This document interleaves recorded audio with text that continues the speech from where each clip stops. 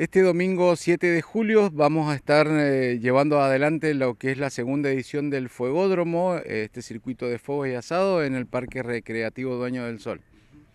Bueno, una vez más Junín con estas actividades que son para el turismo, el público. Eh, sí, está orientado a toda la familia, va a venir bastante turismo de, interprovincial de las provincias, eh, de, perdón, de los departamentos de, Mendoza Esperamos gran afluente de gente en lo que va a ser un, domingo diferente, con comidas hechas a la llama por cocineros que vienen de distintos lugares de los departamentos.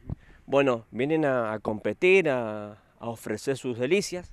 Eh, en, esta, en esta oportunidad lo que es el fuegódromo eh, o circuito de fuego es una experiencia de exhibición de fuego los cocineros en realidad vienen a, hacer sus destrezas con los fuegos, en donde vamos a encontrar más de 30 recetas hechas a la llama. Los interesados, la familia que se acerquen, que quieran, bueno, comprar algún producto que deben hacer. Eh, se van a acercar hacia los puestos, cada uno de los puestos va a tener la receta que va a presentar, que en la mayoría de los puestos van a ser dos, en donde van a encontrar gastronomía totalmente identitaria, o sea, con recetas tanto regionales como a la, hechas a la llama o a las brasas, y van a poder acceder a la compra de, de sándwich o de cazuelas que van a estar eh, vendidas por sus propios cocineros. ¿no? Eso mismo te iba a consultar, ¿los precios? Los precios eh, son bastante populares, rondan entre los 4.000 a los 7.000 pesos, en donde los sándwiches de 7.000 pesos serán eh, bastante abultados como para que puedan compartir entre dos. Un domingo también, bueno, distinto acá en la zona este y en el departamento de Junín.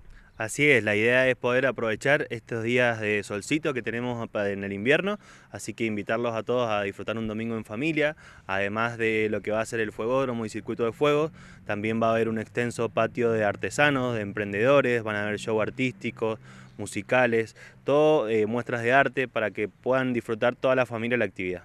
Bueno, eh, invitación especial al, público de la zona este, también del, Gran Mendoza, me imagino. Exactamente, sí, la invitación es abierta a todo público, eh, es entrada sin costo, solamente se abonan lo que van a consumir, así que invitar a toda la gente de la zona este y de toda Mendoza e incluso eh, vecinos que se acerquen a, compartir este hermoso día. Reiterame el lugar por favor y el horario, que no empieza la actividad. El Parque Dueño del Sol, nosotros vamos a arrancar muy tempranito a las 8 de la mañana, pero a partir de las 13 ya se pueden acercar a consumir lo que desean y disfrutar toda la tarde hasta las 17.